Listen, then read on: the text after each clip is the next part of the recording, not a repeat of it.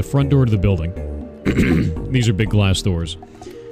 And we came inside, and all the managers were standing like this in like a semicircle.